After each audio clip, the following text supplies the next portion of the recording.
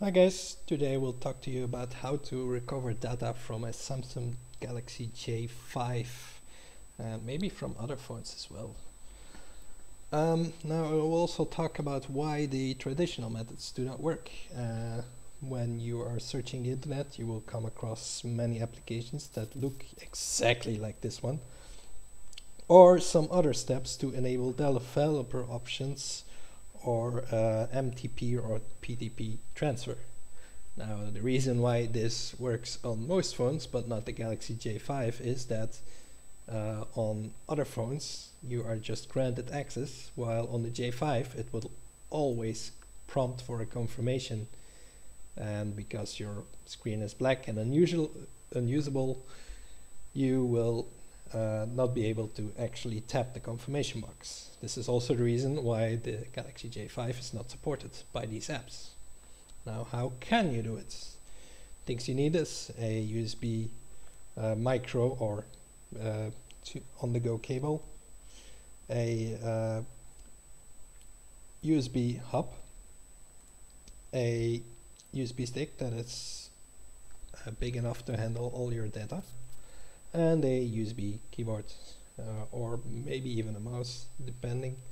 Um, now what you want to do is on this side of the USB hub you want to uh, put your OTG, ca OTG cable and connect it to your phone. Uh, right here you put in the USB stick and the USB keyboard. And now I had a phone that didn't have a lock screen password or pin or whatever. So I was able to work from there. If you do have that you can connect a mouse or something and try and make sure you can uh, get past the lock screen.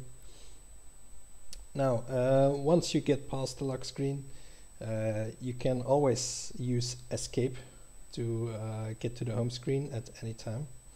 Uh, let me just uh, get the steps now. Let's see. There we go.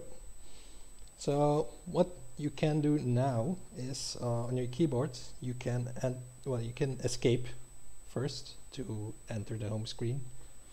Um, then you press the Windows key plus F. Now what this does is uh, it will uh, get up the search function that is inside your phone by typing my files, it would search for the Samsung my files uh, directory. Uh, depending if you have another language, you need to type something else here. Uh, wait like two seconds for it to actually find it, and then press down, down, enter to select the result. Now, sometimes there's like a notification there. So if this doesn't work the first time, uh, you probably dismiss the notification here and you just need to start over and uh, this time you will be selecting the my files. Now uh, you have the my file selected and I don't think this is needed but I do it anyway just to be sure. I hold down uh, for two seconds to get to the bottom of the page and up up enter which is always the internal storage. Uh, hit down once again to make sure you are in your uh, files directory and you can select a map. Uh, hold the enter button for about two seconds which will uh, select one of the maps to be copied.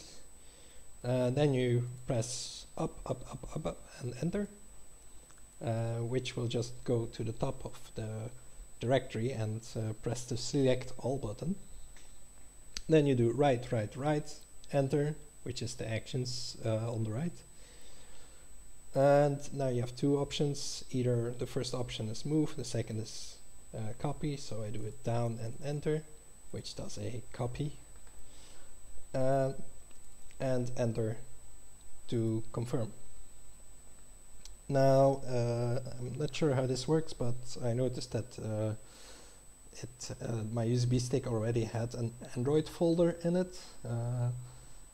It seems like the phone created it itself. If not, you could create it uh, just an empty Android folder, uh, just a folder named Android, and uh, put it on the USB stick before you uh, put it in. And so when you get to these steps, you will have to do a uh, enter first, which is like uh, saying select all, and after that uh, down and enter, which says continue. Now it will start the copy process if everything went well. Uh, you can press enter at any time to cancel the copy process. Uh, what I did the first time was wait like 10 seconds, pressed cancel, uh, checked my USB stick and there were files there so I knew I had I had the correct sequence down. I repeated all this uh, the second time. I didn't cancel and I just waited for half an hour and all my files were copied to the USB stick.